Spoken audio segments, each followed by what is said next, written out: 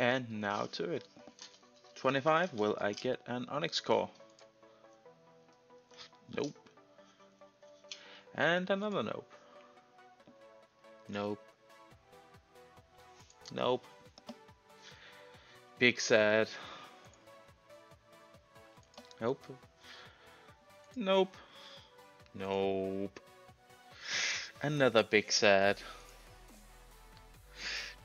Double yikes. It's alright. Mm, definitely could be better, but still.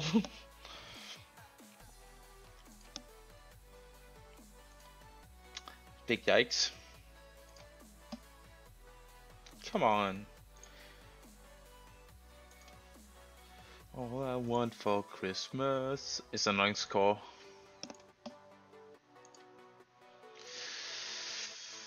These Onyx cores are definitely not interesting. This is this it? Come on. God damn it. Well, I guess better luck next time. I guess we're going for 100, guys. Alright. Let's price check this. See what I got. 13.8. That's pretty decent. Then 3 mil, give or take in coins, so let's just say 17.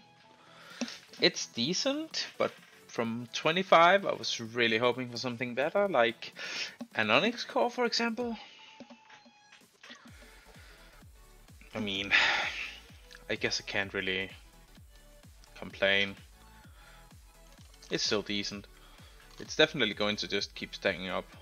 Whoa! Boots and gloves have really dropped in price since uh, the wilderness events. Hmm. These have dropped too. That's sad. 424. Yeah, I mean they're still needed for some reason these never seem to drop, which is baffling me a little.